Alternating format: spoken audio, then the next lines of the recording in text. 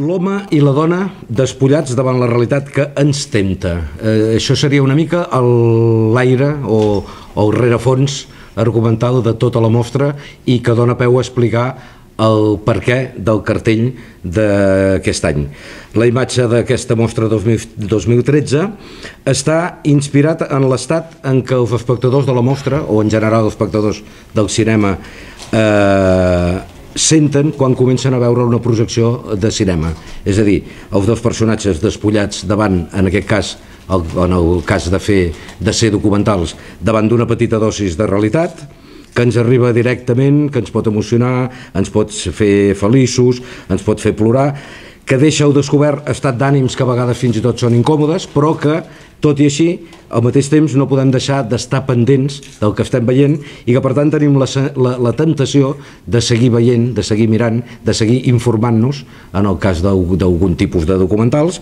i que per això eh, està visualitzant el que està inspirat amb això que és eh, la realitat, la realitat que és els documentals. A la vegada aquesta poma que tenim al mig del cartell vol representar aquell detall, una realitat, la realitat que es mossega quan veus un documental, que et deixa una marca i que ens interessa, que la volem agafar, que volem saber quin gust té aquesta poma, és una alegoria a que volem saber indrets llunyans, coses que passaran a l'altra punta de món, coses que no hem conegut, de, descobertes, etc etc, que és el que moltes vegades el documental eh, ens ofereix. Avui el que intentarem aquí, amb aquesta roda de premsa, és demostrar que hi ha motius per sentir-se, per una part, nus o despullats davant d'aquestes realitats i, a més a més, que en val molt la pena deixar-se temptar per aquestes propostes. Els documentals, que són la base d'aquest fet que és la mostra, fa que els treballs que hem hagut de remenar aquest any per aconseguir la programació hagin estat molt més nombrosos i millors, per tant, hem de dir que hem rebut 130 documentals aquesta edició, 10 més que l'any passat, que el 2012, i el doble que el 2011, és a dir, que estem parlant de números molt, jo diria, espectaculars, i dir que, a més a més, fa 15 dies tenim 5 documentals per l'edició que ve, pel 2014. És a dir, que és una manera de dir que el treball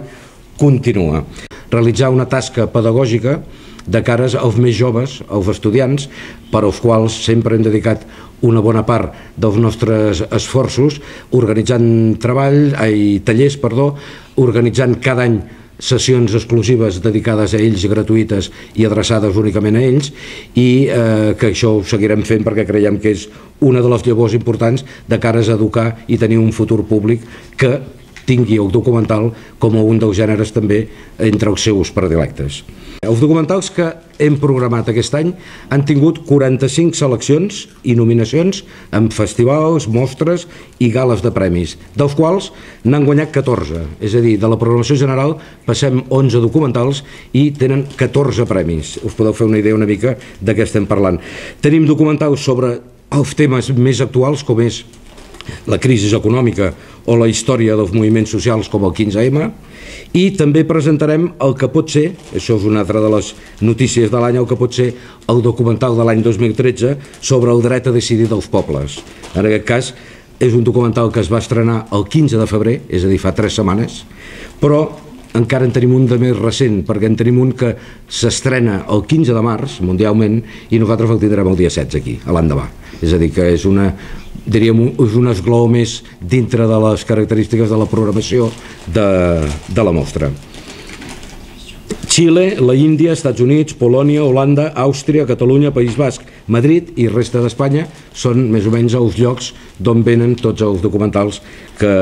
que programem. I després, que ja ho hem dit més d'una vegada, un dels fets que més ens motiva en aquesta mostra concretament, a la vuitena edició, és el fet de que gairebé una vintena de convidats estaran presents en aquí. Per tant,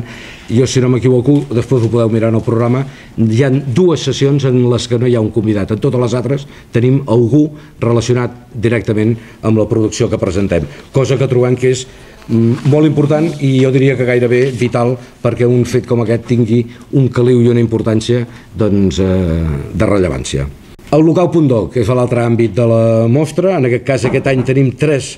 documentals, per una part em diuen Tubap, que és la darrera experiència d'Elias Garrotxa, en aquest cas està rodada a Gàmbia, tots sabeu que ja fa molts anys que aquest eh, centre educatiu ens presenta en primícia i amb estrena el seu producte que després volta per molts llocs i molts certàmens, però que sempre ho presenten aquí, al voltant d'aquesta experiència pedagògica d'un grup d'alumnes viatjar al lloc d'origen d'algú de la classe d'aquest grup. I per tant, és per nosaltres un orgull i un honor tenir sempre l'estrena en el teatre principal, després ho, ho detallarem, d'aquest eh, projecte de l'Illes Garrotxa, que en aquest cas aquest any fet a Gàmbia es diu, com dèiem, en diuen Tubab. Per una, una altra banda, també tenim aquest any sí un producte del col·lectiu de cinema independent de la Garrotxa sobre la història, el present i el futur de la plaça de Toros d'Olot. És el desè treball de la sèrie Seqüències per la memòria i es titula Sol i ombra. I per últim tenim un treball del director Eduard Miguel realitzat per Ceba Produccions, també una empresa i una casa d'aquí, de casa nostra, que es diu Pau Escaler Goto de Paradise i que és un documental sobre la vida d'aquest esportista, d'en Pau Escaler, i la seva passió extrema, també, valgui la redundància, per l'escalada extrema. En quant a la producció d'àmbit general, que ara hi entrarem, són 11 documentals, com hem dit, de moltes temàtiques, des de la crisi econòmica, el moviment 15M, aquests esports d'aventura, com dèiem, que també n'hi ha un altre que també en parla, eh, la solidaritat, eh, eh, poblacions dividides per murs en un mateix territori...